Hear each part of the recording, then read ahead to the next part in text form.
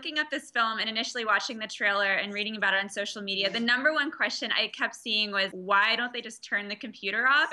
What would you guys say to that question um, that a lot of people are asking? Explaining why you can't, and that's what's so frustrating about it. And I think that's what builds the tension and and um, is really innovative in this horror genre, where it seems simple. Yeah, just close it and and leave. But um, if you see the film, you can find out definitely that you, you can.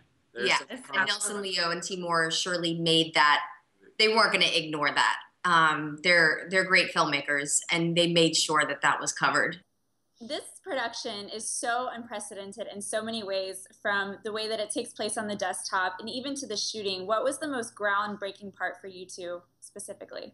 I, I think unanimously it has to be like this six camera setup in the house you know? Being live tapped in and being able to do this whole thing like it's a play i think was probably the you know the largest conceit and the biggest conceptualization that this film has is in its shooting style. If you guys could walk me through Shelley i heard that you might have had some influence on that happening Yes, and I, I didn't ask to do it in one take because I thought it'd be cool. Um, I genuinely was looking for a better way to get through these scenes, and it seemed to me because we were lit, you know, our cameras or our laptops were lit. A GoPro was on top of the laptop, so to me, the rooms were lit to do it in one full take. Um, so I asked Nelson and Leo if we could do that, and their eyes lit up, and, and Will was like, "What?" he was not and I felt so bad for not asking the cast first before recommending that. Um, but we we did it, and Will was one of the best ones doing it in a full take. Yeah.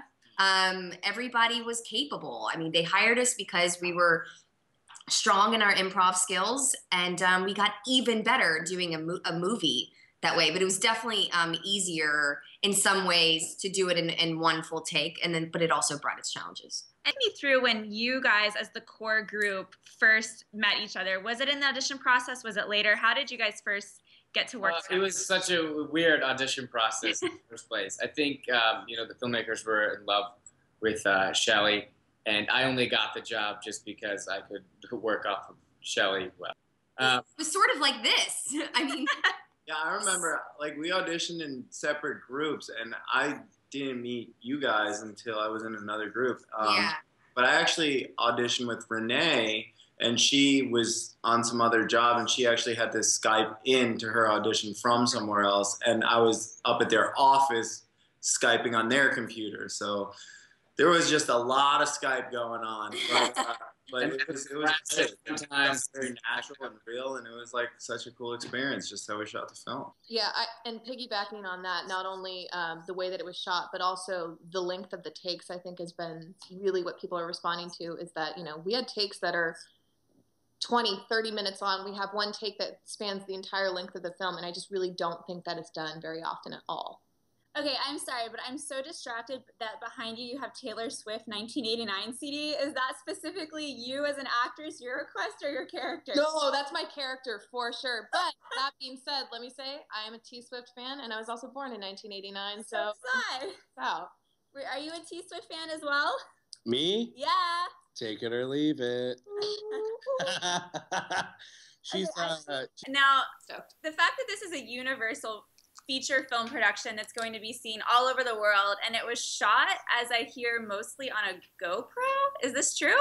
Yeah, that's true. How yeah, much of it? Six GoPros running at the same time on each of our um, on each of our screens. So basically, it's where your um, where your little camera would be on your on your computer. Instead, in that place, we had a GoPro camera um, running live at the same time. So they set up a system kind of like Skype for us to be able to see each other in real time, so there wasn't a delay while we're acting. Yeah, it was uh, hardwired, uh, so it wasn't over the internet. We were all yeah. inter, we were like connected via tube. Shooting this, how did it actually uh, change the way that you consume media or you go on your computer after this experience? I did put tape over my webcam on my computer at home because I'm afraid. That's so, I'm terrified now too. Thank you for so that. Sad is that I have tape over my webcam. okay, I'm gonna do the same. Well, that will be our leaving message with this: is tape your webcam, webcam, when you're not using it. Thank you guys so much and congratulations. You scared the hell out of me. Perfect. Bye. Bye. Bye.